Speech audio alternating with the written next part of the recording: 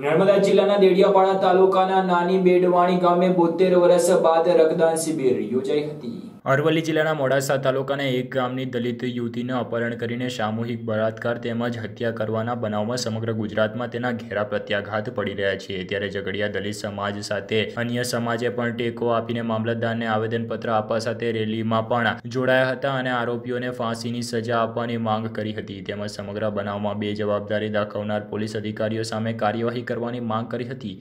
અરવલ્લી જિલ્લાના મોડાસા તાલુકાના એક ગામની ઓગણીસ વર્ષીય દલિત યુવતીને પહેલી જાન્યુઆરીએ અપહરણ કરવામાં આવ્યું હતું. ત્યારબાદ તેણી સાથે ચાર જેટલા નરાધમોએ સામૂહિક બળાત્કાર કરી તેની હત્યા કરી તેની લાશને વડલાના ઝાડ ઉપર લટકાવી દીધી હતી. જેથી દલિત સમાજમાં હત્યારાઓ સામે રોષ ભભૂકી ઉઠ્યો હતો. પાંચમી જાન્યુઆરીએ તેને વડલા નીચે લાશ લટકતી જોવા મળી હતી. છતાં જવાબદાર અધિકારીઓ બે જવાબદાર બની આરોપીઓને બચાવવાની નિંદનીય કામગીરી કરી હોવાના ગંભીર આક્ષેપ કર્યા હતા અને ત્યારબાદ છેક સાતમી જાન્યુઆરી આરોપીઓ સામે પોલીસ ફરિયાદ લીધી હોવાના પણ આક્ષેપ કર્યા હતા. જેથી એક અપહરણ, ગેંગરેપ તેમજ હત્યા જેવા બનાવમાં મોડાસાની પોલીસે આરોપીઓને બચાવવાની શંકાસ્પદ ભૂમિકા ભજવી હતી. જેથી ઝઘડિયાના દલિત સમાજ તેમજ અન્ય સમાજના આગેવાનોએ દલિત સમાજને સમર્થન આપી રેલીમાં જોડાયા હતા અને બે જવાબદાર દાખવનારા પોલીસ અધિકારીઓ તરફ કાર્યવાહી કરવાની માંગ કરી હતી. સાથે જ આરોપીઓને પણ સામે કડકમાં કડક કાર્યવાહી કરવા માટેની માંગ કરી હતી.